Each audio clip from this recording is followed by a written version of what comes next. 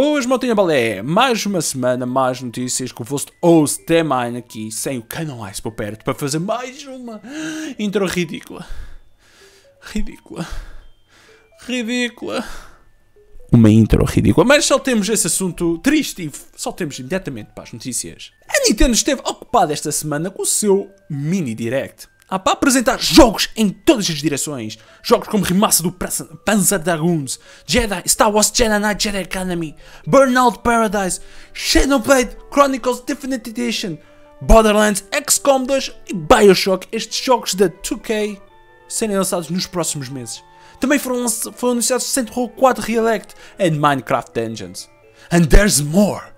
Apresentaram o primeiro evento sazonal para Animal Crossing um update para Wing Fit Adventure, um modo de jogo que eu pessoalmente de certeza que me viciaria a jogar.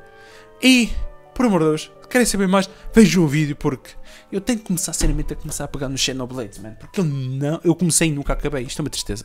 Espera aí, eu falei do Star Wars Jedi Knight Jedi Academy? Falei sim senhor, e parece que este jogo que originalmente foi lançado em 2003 e que atualmente foi remasterizado para a PlayStation 4 e para a Switch, já está no meio de um drama. Já não basta as mecânicas úteis e únicas e nunca replicadas em Lightsaber Dueling.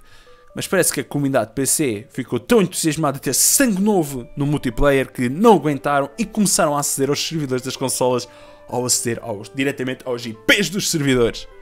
Crossplay acidental. O resultado foi a destruição completa dos jogadores de console, que apesar de uma percentagem dos PC gamers simplesmente querem jogar com os novos jogadores, a outra percentagem não se importou e literalmente destruiu-os, utilizando todas as ferramentas que têm ao seu dispor, que basicamente é o rato e o teclado. Ao ponto em que as pessoas estavam a pedir, a implorar que os IPs dos servidores de consolas não sejam acessíveis pelos jogadores de PC.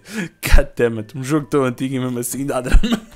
A memória não me falhar, esta notícia é de facto uma notícia inédita.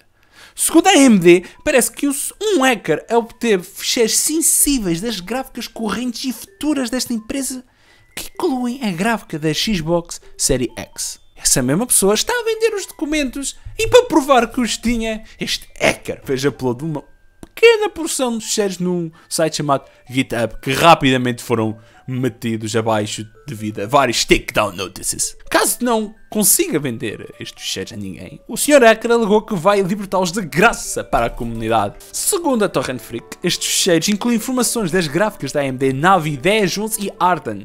Basicamente são as gráficas mais no futuro e algumas recentes. Enquanto a Microsoft não comentou nada sobre o assunto, a AMD já veio dizer que apesar de ter sido mostrado uma fração dos documentos, a informação roubada não faz parte da cultura de competitividade e segurança no que toca ao mercado das gráficas. Mas o mais incrível é que os ficheiros encontravam-se num computador dentro da AMD sem serem encriptados. Trade Secrets. A Square Enix anunciou o remaster do jogo de 2010 Nier através de um trailer.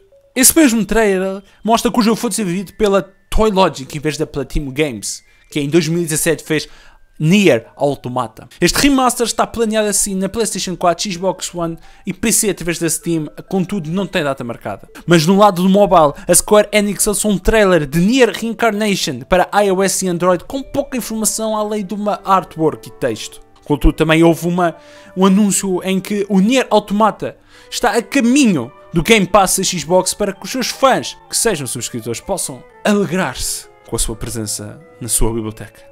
Agora, a notícia mais ridícula desta semana vai para. a Microsoft, claro. Com a conversa com a Digital Foundry, Jason Ronan alegou que o comando da Xbox Series X usa pilhas, porque os jogadores assim o preferem. Disse também que a percentagem entre pilhas e bateria é 50 e 50 e por isso disseram que decidiram que vamos pôr pilhas e quem quiser pode comprar a bateria à parte. Contudo, eu vou-vos dar um tempinho para deixar o ridículo que cai em vocês.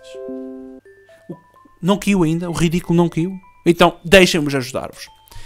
Nós estamos em 2020 e a Xbox Series X vai usar pilhas no comando. Isto em 2010 já era ridículo. Já era ridículo.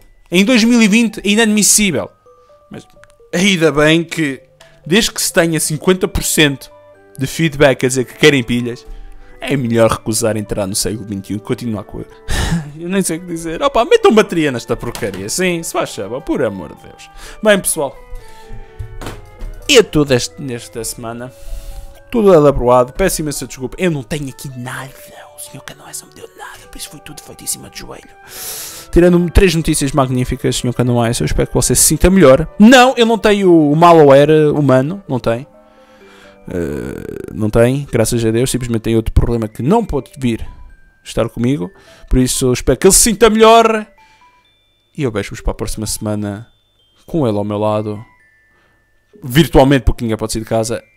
Provavelmente a fazer alguma coisa ridícula que eu vou me arrepender no minuto a seguir.